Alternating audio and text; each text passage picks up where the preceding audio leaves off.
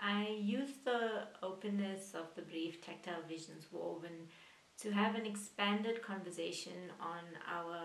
relationalities with materials. Um, the processes by which we engage them, the kinds of histories uh, implicated by them, as well as how we envision ourselves and our world through uh, fabrics, um, through sartorial codes. Uh, of course, you know, in, in this country we have an, an, an immensely rich uh, history of tactile arts, for, whether it's beadworks, uh, embroidery, lace, uh, quilt making, uh, blankets, doilies, uh, to the making of baskets with telephone wires, even decorating with pins, right? Um, but I also was interested in how contemporary artists are also using the language of everyday tactilities to also question a range of, of social issues, um, as well as redefining the very terrain of what we associate uh, with uh, fine art uh, materialities as such versus uh, craft,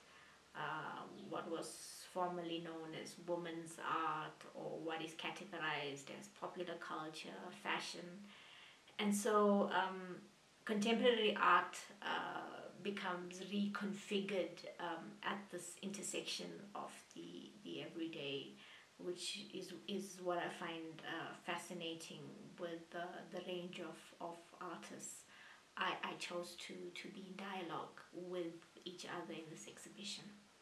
Um, and when the exhibition was initially conceptualized, that, that was very much what I conceptualized it as, as an intergenerational dialogue in which each artist's work was in dialogue with the issues and the materialities that they were talking to. Uh, um, and whilst, while a little bit of that is lost on the online viewing rooms, I hope that artists still get a sense of that. Um, and so while you will get some of what you traditionally associate with uh, the tactile arts in terms of uh, uh, beadwork and embroidery uh, and sewing works in terms of you know the works that you will see in Philiswa's work, Bev's work, uh, Zodwa's work with uh, the Nomzamo Old Age Center collaboration. Um, Willemien's work as well. Um, I think you'll also find it very interesting the the ways in which they, they are pushing those boundaries as well. Um, but I think also what's really interesting is the ways in which they are bringing forth uh, and engaging co- the co- contemporary issues uh, in their work. So you the ways in which you find, for instance, the threads uh, that run through uh, Willemien's work, uh, Oratile's work, Lebogang's work, other ways in which they're tackling patriarchy in, in the various works, for instance. Uh, Willemien is using, you know, uh, uh, old tea tray cloth and uh, she's embroidering and tackling uh, domestic violence uh, in, in her work. Um, and and it's, it's an amazing metaphor to think of of the ways in which you know she's stabbing that cloth all those many times those thousands of stitches she's using to do that um, uh, through to Lebogang's work and those you know the doilies that she's using in her monotype um, uh, to, to, to speak to the as a metaphor to the black feminist killjoy figure, you know, who doesn't sit well within family spaces, uh, who doesn't sit comfortably at the table, um, to her her her uh, her guns, uh, her finger guns, right? And she's creating these finger guns to flip off and flip out the patriarchy. Um, Oratile,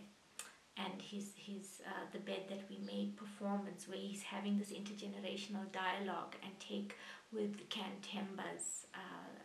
the suit um, speaking to the violence that pervades the home. Um, and then we, and then we have again tea trays emerging in in Nono's work, and and here it's and the, the, the tea tray and the doily is used to have a feminist conversation, uh, imaginary conversation with the mother. Uh, the kinds of conversations we wish we had with mothers where we can ask them about love. How do we love? Why does love hurt so much? And, and to question why is it that we, we can't ask these, these questions of our mothers. Uh, uh, why is it so difficult with all the education that we have that we're never prepared for life in, in this way? Uh, and, and it's incredible uh, that the language of the everyday uh, is used in this way. The language of the tactile and the everyday is used in this way to weave this conversation. Um, it's also interesting how how um, works by by by Londiwe and and Buhlebezwe show us how then the, the, the language of materiality also structures our relationship with, with the spiritual as well. Um, and that it's a fundamental part of, of how we access that which is not seen. Um, all, all the way through to to to um, to Reshma as well, who's who's also accessing the divine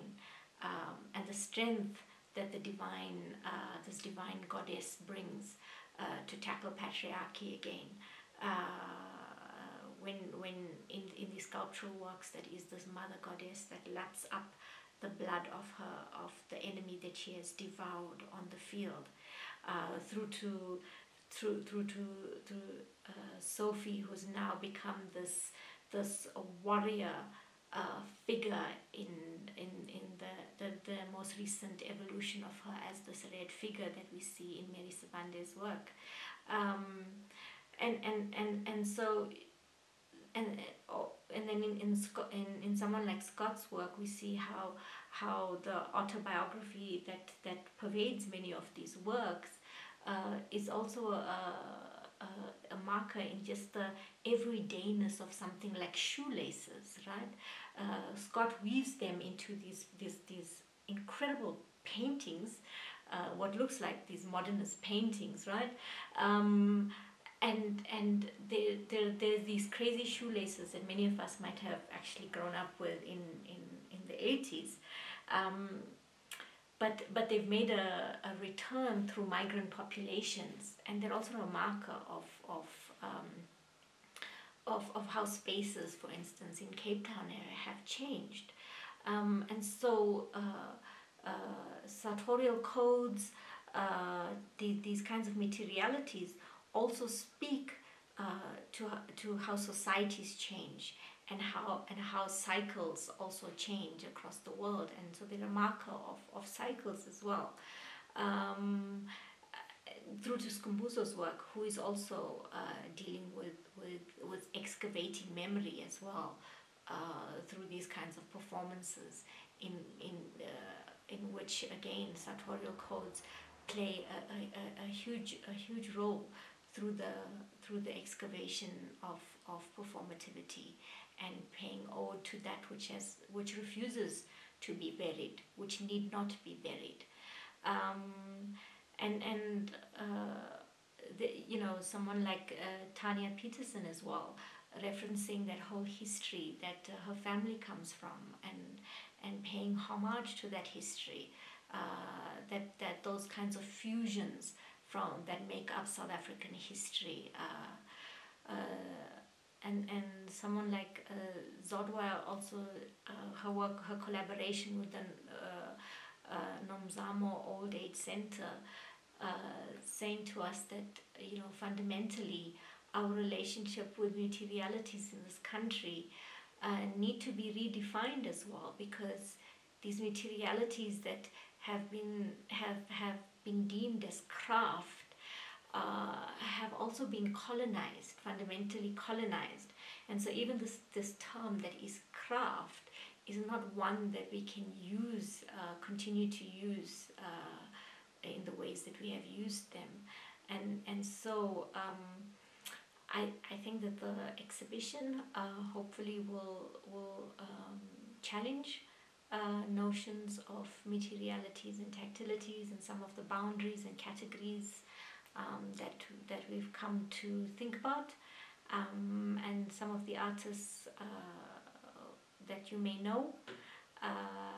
have uh, who do work with textile-based uh, work. May you might be presented with some of their most recent uh, interesting works, and that you might also be presented with a whole new